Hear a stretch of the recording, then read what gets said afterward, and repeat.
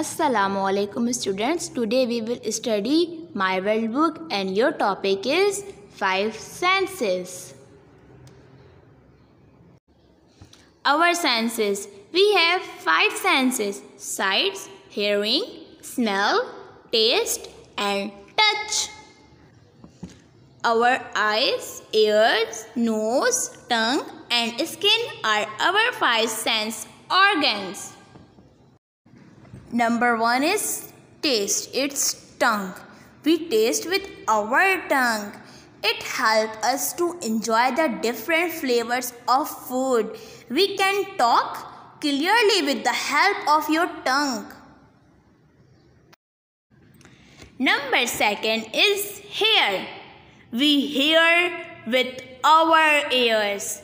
The world is full of many wonderful sounds. Number 3. Touch.